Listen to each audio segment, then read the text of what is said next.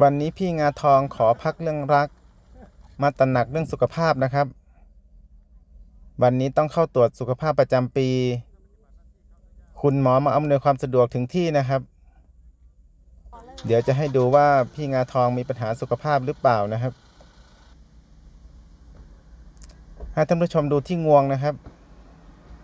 เห็นปุ่มๆทางซ้ายมือไหมครับ เราไม่รู้ว่าเป็นอะไรนะครับ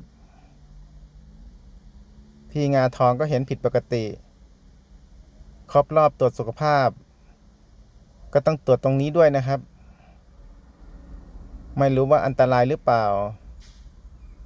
หรือว่าโดนสาวขีดข่วนมาก็ไม่แน่ใจนะครับ นี่นะครับจังหวะที่พี่งาทอง หลังจากโทรนัดแนะคุณหมอนะครับ ด้านหลังคือพี่ๆเจ้าหน้าที่นะครับ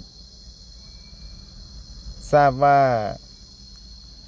ได้มาอำนวยความสะดวกกันยกใหญ่นะครับ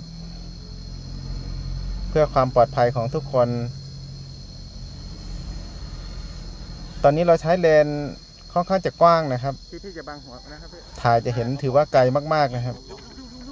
นี่ครับลงมาแล้วครับ ลงเนินนะครับ อันนี้เราเปลี่ยนเลนนะครับ เป็นเลนซูม 300 มม นะครับ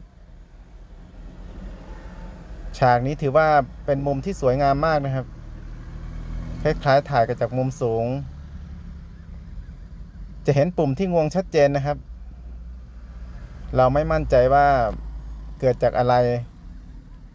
คงต้องรอให้คุณหมอวินิจฉัยนะครับ ด้านหลังจะเห็นพี่ๆเจ้าหน้าที่ที่คอยมาดูแลนะครับ นี่คือรถคันที่เราคุ้นเคย วันนี้ถือว่าอบอุ่นมากนะครับ พี่งาทองมาโชว์ตัว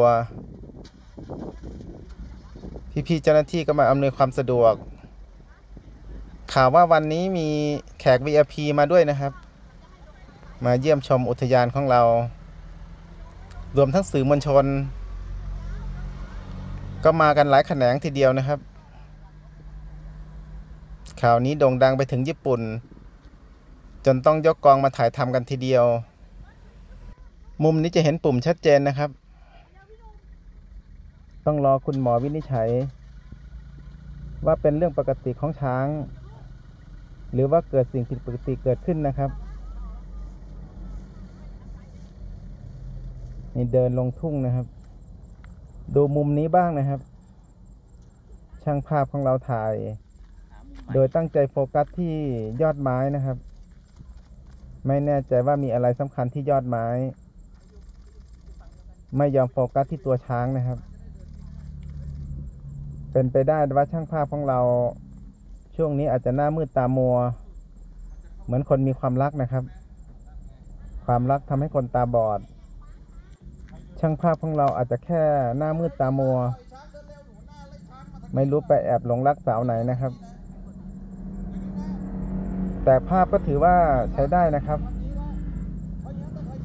ผ่านการตรวจสอบพอที่จะนำมาให้ท่านผู้ชมดู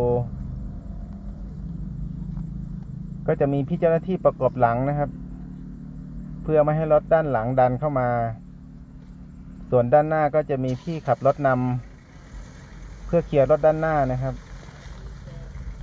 ช้างป่าเป็นสัตว์อันตราย สิ่งไม่ปลอดภัยอาจจะเกิดขึ้นได้เสมอนะครับ ช้างเลี้ยงยังมีปัญหา ช้างป่ายิ่งไม่สามารถไว้ใจได้นะครับ นี่ครับคุณหมอเราคอยอำนวยความสะดวกอยู่นะครับตอนนี้โบกช้างนะครับ ไม่ได้โบกรถนะครับ ดูว่าช้างจะเชื่อคุณหมอหรือเปล่า ถ้าไม่เชื่อต้องจับฉีดยาหลายๆเข็มนะครับ คุณหมอที่ดูแลสัตว์ป่านะครับ เราเข้าใจว่าถ้าคุณหมอดูคลิปเรา นี่นี่นะครับ เมื่อสักครู่นะครับเก๊กท่าคล้ายๆ กันทีเดียวนะครับนี่ครับ ส่วนพี่ที่เราคุ้นเคย คอยดูแลอยู่จุดนี้นะครับ เป็นการทำงานที่ถือว่าหนักหนานะครับทำงานกับช้าง